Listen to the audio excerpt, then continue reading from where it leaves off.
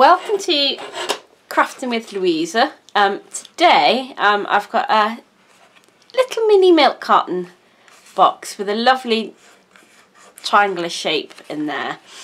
Um, and this came about because I've got loads and loads and loads of 6x6 um, DSP.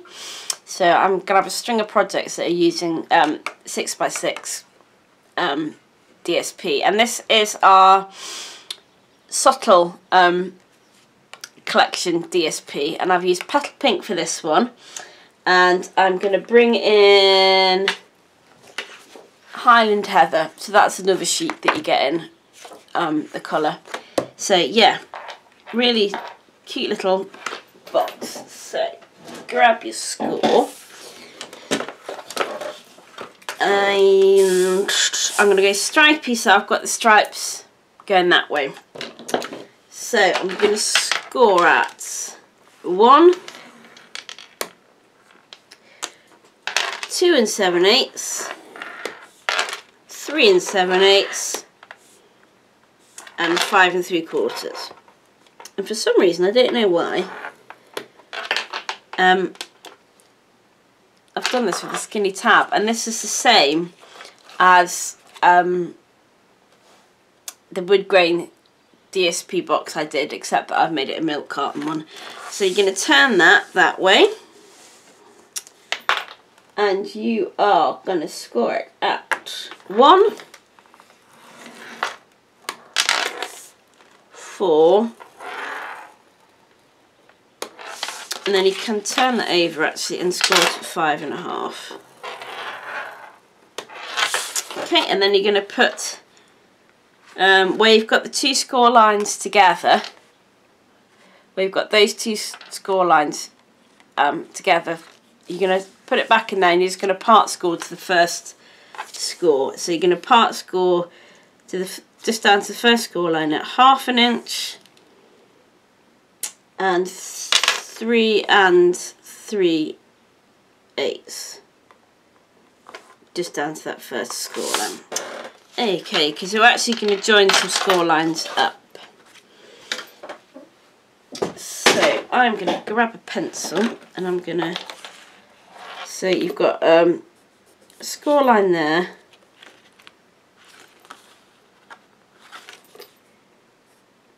And a score line there. This is going to look fun on camera, isn't it? Should have done it on the reverse. So hopefully you will see that scoreline. Oh, let me zoom in.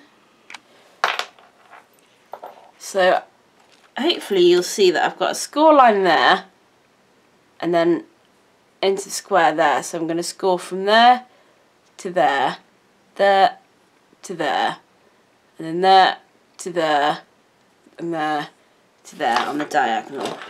So I've got steel rule and now I've marked all that, I can't see a thing. it will kind of make sense um, to you when I've done it. Oh, and that's the door. Okay, so, sorry about that, that was the door going. So I'm just doing these diagonal lines, and I will um, hover it make sure you can see it. Gosh, even I'm struggling to see these lines.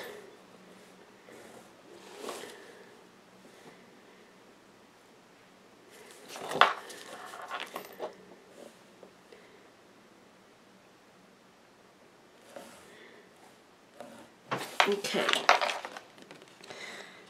So hopefully you can see those. Yep. That's there and that's there and the same on the other one. So we are going to fold on all these lines and burnish them. Don't go mad burnishing because it is paper. So it doesn't need too much about this tough paper. As always, from Stampin' Up, you wouldn't expect anything less. And I just don't know why I'm struggling to see the paper. See the score lines on this? I think it's because it's quite white. So when you've got the two score lines together where you've done the diagonal, you're going to score the lower one that way, and then this one nearer the top you're going to bring towards you. That just gives it a nice crease. Okie doke. And then you're going to get rid of that little um, rectangle. And this corner, oops, hmm, crinkling my paper. So, not much cutting here. And just wedge it up top. Okay. So you got rid of that triangle and then, oh gosh, I can't see that side at all. Um, and then you're going to cut up these.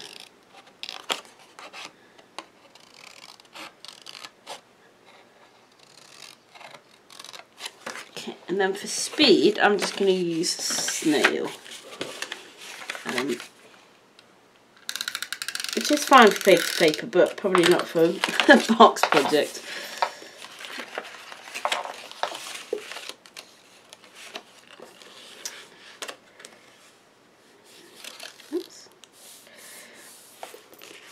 So you're going to find your back. So my back's there, so I'm going to fold in two sides, oops, the back and then I'm going to put glue on the front one. Okay, and then I'm going to take care of the um. So you're going to push with your middle finger in or push with your index finger in and then it will just create that lovely and I've got quite it's quite a tool. One just because I like that. And then a hole punch. So it wasn't that long tail there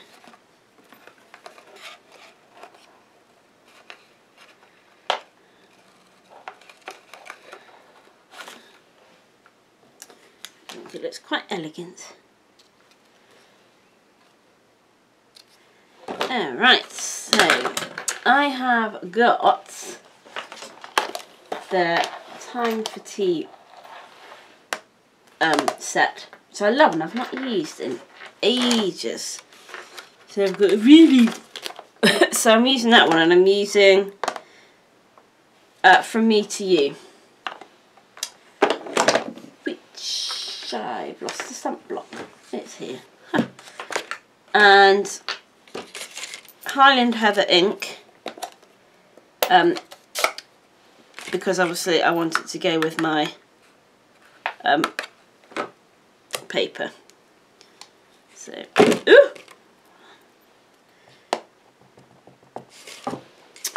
And the ink.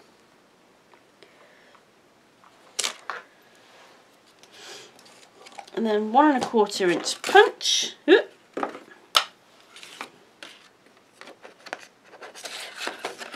Line that up. I have to say, I have become a real fan of punches. So convenient. And then I've got the uh, one and three quarter inch punch, scrap of um, Highland Heather, punch it after that.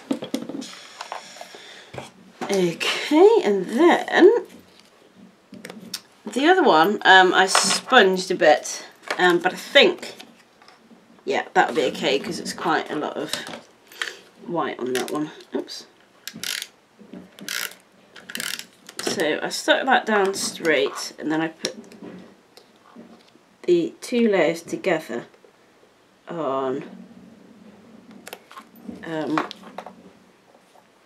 Stampin' Dimensions these, oops.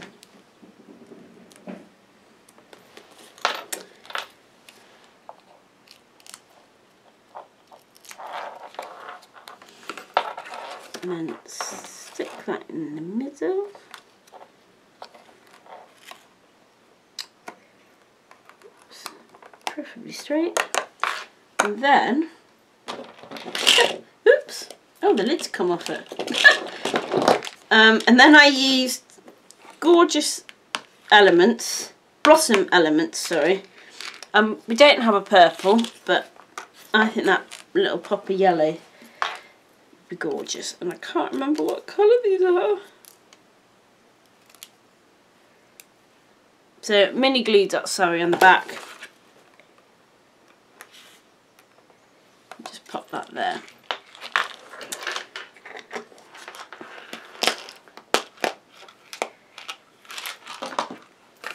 So those are the two uh, boxes. I hope you enjoyed that and that you will give them a go and start using up all that 6x6 that you've hoarded. Um, gorgeous little boxes. Um, great for little treats. Um, I've been Louisa and I'll see you next time. Bye.